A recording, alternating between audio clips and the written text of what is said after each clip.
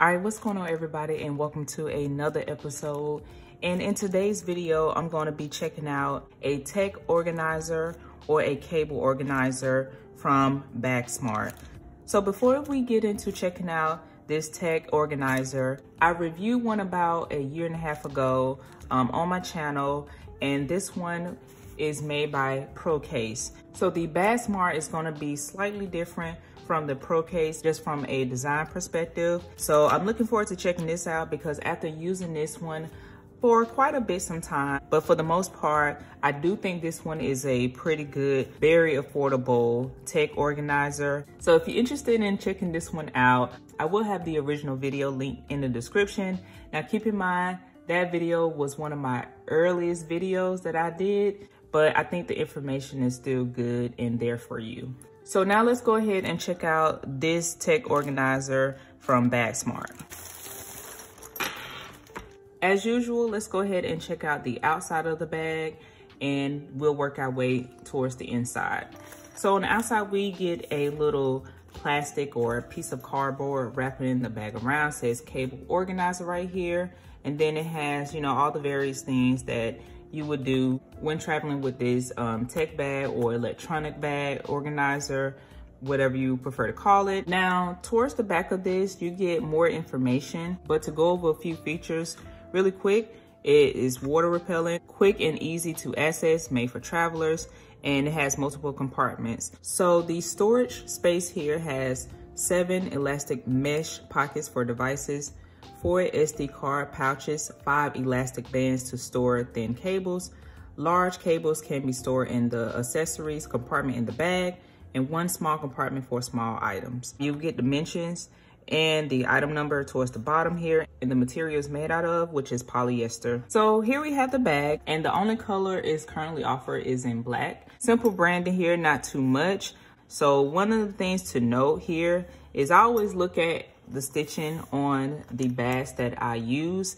And normally that gives me a good idea of the quality that it's made out of and how much quality control went into manufacturing this bag. So currently this is available on Amazon for $17. Now I purchased it at $19. Let's go ahead and talk about the outside and far as I can tell, the stitching is decent. Of course, the bottom here, the stitching is meh. I mean, it's okay. It's not very detailed in how it was stitched, but with the price, you kind of expect those little things like that. From the material that is made of, of polyester, I think it is pretty good. It feels pretty nice and I can definitely tell that if you was to spill something on it, it should be easy to wipe off. So the back is pretty much similar, but it just don't have anything on the back. This is a pretty simple design bag. Um, the zippers right here, you get two per compartment. So no zipper attachments on here, but as you see here, they're pretty long and easy to grab. But at the same time, I know some people may feel like zippers can be a little bit annoying depending on how many it is and how jingly they are. So if you work in an office or you um, in a quieter setting or environment, this will make some noise when you're taking it out your bag. Not a big deal for me, but it's something to note for others. Here you get your carry handle right here and you can just carry this in your hand. The strap used right here is pretty nice. Um, I feel like it's very smooth and over time it shouldn't cause any irritation in your hand if you're carrying it while you're out and about. So I do like for handles like this or any strap to feel very comfortable. So let's go ahead and move to the inside of the bag and check out the compartments. All right, so the first thing we have here is the gray interior. Now, the choice of color for the inside is gonna be generic. Gray is a go-to color. Towards the bottom, you get your cable elastic bands so you can slide in each cable um, depending on the size of that cable. So I do like how you have the smaller ones on the left and then you go to your medium to large elastic bands on the right. So that can help you with cable management and not having to worry about stuffing a large cable inside a smaller elastic band and vice versa. So I can appreciate that far as the stitching on the inside, I mean, is well hidden. So one thing I do want to mention here, I was also looking for a bag that I can lay flat open and not have to kind of sit it up and go through it. Now, I will say I have been checking out a tech pouch um, that has that similar design. So far, I'm still, you know, trying to see what I can get out of this particular tech organizer. So I do like this. Um, that way you can see exactly what you're trying to grab and what you're looking for in this bag in general. We have a zipper pouch right here and then you get three compartments on the inside of the zipper pouch. You can drop little smaller items in here and that way they don't get lost and get all over the place in your bag and kind of makes it frustrating for when you're searching for a small item inside your organizer. So this is gonna be your front compartment and that's pretty much gonna be it. I will say I can appreciate how simple it is, also allowing you to maybe carry a little bit more because you can organize smaller items from larger items. That's gonna wrap up the front compartment. Let's move to the back compartment. So towards the back here, we have two large compartments and I like how wide it opens. I'm gonna be honest with you, I didn't think it was gonna open this wide. You can really dig in there and get what you need. Also see what you're trying to get outside the bag. Inside we get a Velcro strap or a Velcro wrap. Some cables now come with these Velcro wraps. So I like that one is included, especially if you carry your laptop with you. So if you don't have that, which usually you probably keep that on there, but if you don't, it's here if you need it. We also have some silica gel as usual, put that to the side. Okay, so let's talk about the front and then we're gonna work our way towards the back of these two compartments. We have a large spacious pocket right here. So you get two of these, one on the left, one on the right.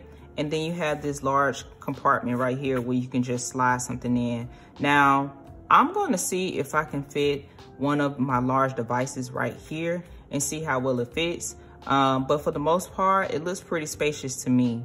In the middle, you get a zipper pouch. You get four additional elastic bands. Now, these can be used for SD cards. As I was reading the information on the back of the cardboard piece, you can quickly access your SD cards if needed, and they're in a nice, safe, protected space if you decide to put them here.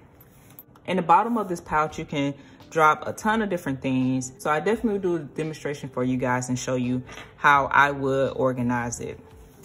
So moving towards the back here, so you get one large compartment on this left side right here, and then you get a smaller one on the right. I can see how you can carry quite a bit. You don't feel like you have to sacrifice what you need to carry because the organizer or the pouch is just not big enough for your larger accessories. So that's pretty much it. Now I'm gonna go ahead and put some items in this bag. Now I probably add a little bit more than normal so I can show you how much you can carry. So that way it will give you a better idea as to what this electronic organizer can store. All right, you guys, so I am back and I have this organizer packed with a variety of different things. And also I try to not keep it looking too bulky. I try to keep it as well packed as I would travel. If you're just going out and you just want something small and you want to carry around with you, I think this will be an option for you to check out. One thing I wanted to mention before we get started is that the zippers that are on this bag, you get two per compartment. So for me, I like to have one set of zippers on one side and one set on the other. So that way, I'll make sure I'm going into the right compartment. I know that's not a big deal at all, but that may be a tip for you. When using this handle, it may help to keep the back compartment zippers on the right side of the bag. That way, you don't have to worry about accidentally opening up that compartment and possibly dropping a few things outside that bag. That may not happen, but who knows? So that's just something um, I noticed and that may can help you along the way. But let's go ahead and get started with the front compartment. All right, so here we have the front. Now I tried to find as many small items as I could, and I was able to uh, fit a few cables, as you can see right here. Now I have lightning, USB-C, for these two. And then I also have my watch charger. So I was able to put these in here. And of course you can slide something in if you have another cable to carry. But for the most part, this is more than enough cables for me. I actually can only carry one of each. Um, of course, with the watch cable, that would be the only one for it. Now, if you wanted to carry a micro USB, if you needed that cable, of course you could include that in one of these slots. I tried to make sure that cable made sense according to that slot. So I have a smaller cable. This one is like a foot long. Um, this one is about six feet, I wanna say. This one slid in perfectly here in the medium size. And then I have my watch charger in the largest compartment. Right here at the top, we have the zipper pouch, which are three compartments. So I don't have anything in this one, but for the first two, first slot right here, I have a set of earbuds. Now, this is something that just was small enough to fit in this pouch right here. So I was able to slide these in with no problem. Now, depending on the size of that item, you may be able to get more than one thing in that, but just keep in mind that can add a little bit of bulk to the bag and make it harder for you to zip up that compartment. Moving to the second pouch, I have a micro SD card case and a SD card case. Now I just slid these in here to show you that you can fit something fairly small like these two cases in here with no issues. They're flat, they're easy, they won't take up any space and add any bulk. So I just slid them right there. That pretty much is gonna wrap up the front compartment. Now we're gonna move to the back. This is the good part here. And this is probably gonna be the most important part of the bag. Um, this is gonna be the larger compartment as we've seen before. Here I have the electronic device cleaner. Now this is a two-in-one. I'm pretty sure you've seen this one before on other reviews, but basically you just have this two-in-one. You got a soft brush at the top, and then you have the retractable brush on this side here. So I felt like this one would be great to carry around because it is a two-in-one. I don't have to worry about carrying microfiber cloths, even though I probably have one, but that would be more so for my camera. This one will be a lot easier to grab and clean that device. On the side of that one, I have some extra earbuds. Now these are just some Razer earbuds that I have and I use quite a bit. And these are slim and nice and they have a little wrist lanyard on here. So they fit very nicely on the side of this accessory and it just fits well in that pouch. In the right pouch, I have my game case for my Nintendo Switch. And this fits very nicely in here. So nice, so compact in this pouch. And I really feel like it makes the case even more beneficial to have. I will say this does help with making sure that my games stay protected because not only are they in this case, but they're inside this bag and they won't have to be fumbled around my bag or being thrown around. I can drop this case in here without any issues. So next here, I have a power bank. Now, don't judge me. This one is a little dirty. That's because I've used it quite a bit. One is the Samsung wireless power bank. So it fast charges wirelessly for my phone or any wirelessly charging device. And it's 10,000 milliamp hours. So I have a decent amount of capacity for this battery to charge up pretty much anything that I need to charge, um, including my iPad. So yeah, I would carry this around simply because it's slim and it fits well right here on the side. And yeah, that's pretty much it. Next, I just threw in a USB-C cable. And if I can't fit one of my cables that I need right here, or I just need an extra cable just for a friend, then I'll have one to the side right here. And it's just nice to have an additional cable if I don't have enough already. Before we get to the back, here in the pouch, of course you gotta keep a pen on you if you use one, of course, while you're out, as well as my Apple Pencil. So next here, I have an SD card. These slots right here fit SD cards perfectly. You can definitely slide four right here for your camera or for any other device that you use. Here, of course, I have my Nintendo Switch. As you can see, the screen is pretty dirty. So I would use this to clean that screen, but I was really happy to see that this fits so nicely in there. So that way, if I couldn't find any place to put my Nintendo Switch, this bag would definitely get the job done for it. If you have a thin case, um, something that's not too bulky, and that way you don't have to worry about taking any damages to your Nintendo Switch while it's inside the bag. So to the back of that, I have the Nintendo Switch charger. It fits very well in this larger compartment. So I like how I can put the Nintendo Switch charger inside this bag as well. So as we move to the last thing here in this pouch, as I mentioned, You may have some extra earbuds to carry around with you.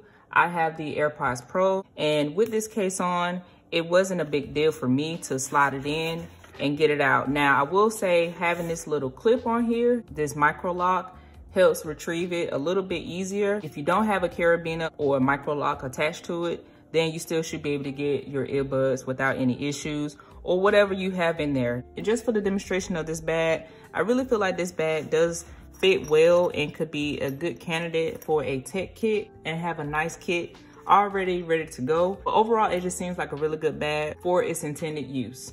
All right, you guys, so that pretty much wraps up the video. Now, I hope this video was very helpful to you. And if you're checking out a tech organizer, and if you were interested in this particular one, hopefully it gives you a good idea of what all you can carry and what fits your needs and what fits your style and what you carry. Now, for me, again, most of these things would come with me on a daily basis. When things are back to normal, I can see just about all of these things fitting in my rotation for when I'm traveling so I can make sure I have more than what I need. So with that being said, if you guys don't already know the drill, hopefully you hit that subscribe button down below. And while you're down there, go ahead and give the video a thumbs up. I really appreciate that. And thank you to all the support that I have received thus far. If you know someone that's looking for an affordable tech organizer, definitely share the video with them and hopefully it helps them as well. Hopefully you guys stay tuned for more videos and I'll catch you in the next one. Peace.